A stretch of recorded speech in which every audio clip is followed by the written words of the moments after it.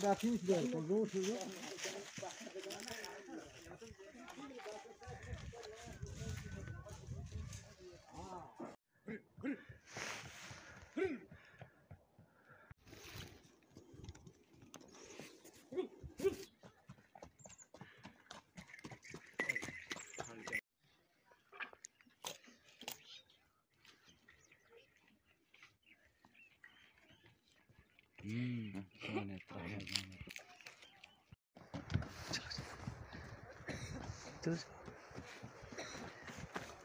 Sir, यहाँ चार पाँच किलोमीटर पैदल चलना पड़ता है।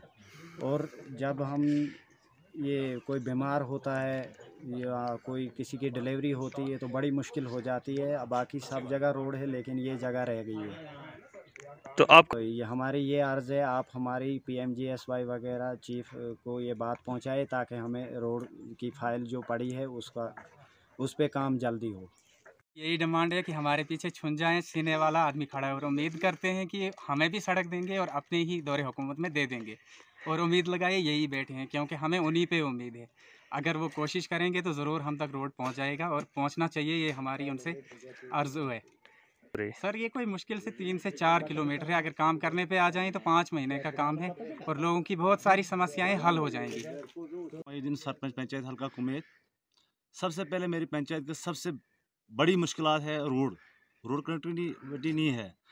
और सर हमें यहाँ से कम से कम दस किलोमीटर हमें रोड में जाना पड़ता है और हमें बहुत मुश्किलें यहाँ पे आ रही है। 2019 में हमारी डीपीआर रोड की बनी थी। राजगढ़ डूंगर दहनला शावा टू कथ्यूड़ है। तो 2019 से अभी तक उसमें काम शुरू नहीं किया गया। ना हमें कोई सर्वे यहाँ हुआ, ना कुछ। और पिछले दिनों में हम हमारे पी एम साहब अश्वनी कुमार जी आए थे। मैंने भी उनको ये मीटिंग में ये बताया था कि हमारा रोड जो है 2019 से जबकि हमारी डीपीआर बनी हुई है।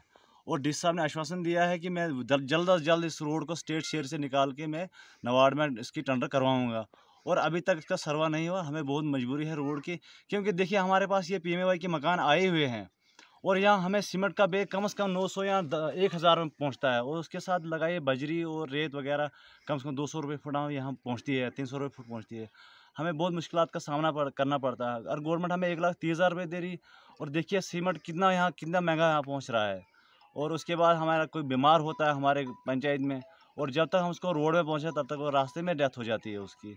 और यहाँ बहुत फलंग फार फलंग एरिया है। मैं सोच रहा हूँ कि डिस्ट्रिक्ट रामन में सबसे बड़ी पंचायत पंचायत कुमेत है और उसके अलावा सबसे फार फलंग एरियाज़ है ये।